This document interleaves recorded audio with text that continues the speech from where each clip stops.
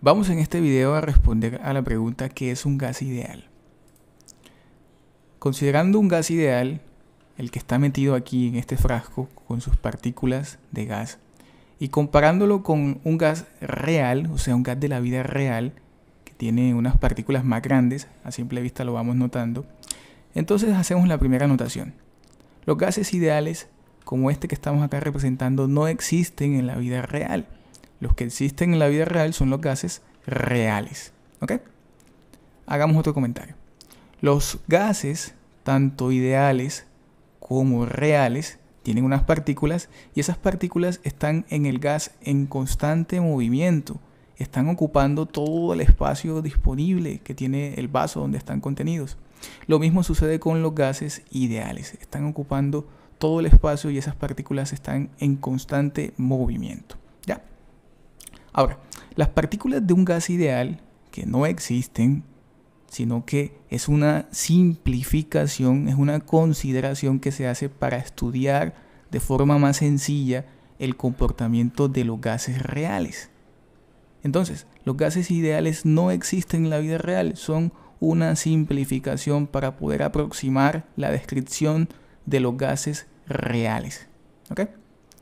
Ahora, estos gases ideales las partículas de los gases ideales están en constante movimiento y son pequeñísimas comparadas con las partículas de un gas real. Las partículas de gas ideal son tan pequeñas como puntos.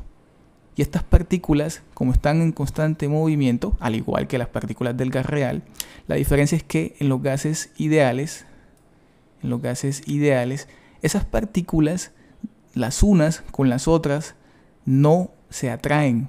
Las unas con las otras no se atraen. No experimentan fuerzas de atracción, cosa que sí sucede entre las partículas de un gas real. Si se atraen o si se repelen. O sea, si pueden haber fuerzas de atracción o fuerzas de repulsión en las partículas de un gas real. Pero en las partículas de un gas ideal, entre esas partículas no existen fuerzas de atracción. No se atraen las unas con las otras, ni tampoco existen fuerzas de repulsión. Tampoco se repelen las unas con las otras. Esta es una consideración para estudiar los gases ideales, que las partículas no se dan cuenta las unas que las otras están por ahí. Otra consideración importante es que las partículas de gas ideal, si llegasen a chocar, a encontrarse, se considera que esos choques son choques elásticos. ¿Qué significa que son choques elásticos? Que si se pegan, chocan, ellas rebotan con la misma rapidez. No pierden rapidez, no pierden su energía debido al movimiento. Eso es una cualidad de los gases ideales. ¿Ya?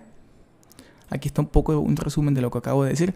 Las partículas de un gas ideal son tan pequeñas como puntos, son punticos comparadas pues con las partículas de un gas de la vida real. Otra consideración es que no se atraen ni se repelen las partículas de los gases ideales. Las partículas conservan su energía del movimiento.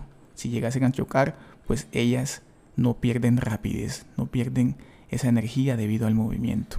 Y bueno, habíamos dicho también que no existen en la vida real, pero se estudian, los gases ideales se estudian porque son una simplificación matemática, son más fáciles de estudiar y en muchas ocasiones describen con una muy buena aproximación lo que sucede con los gases de la vida real.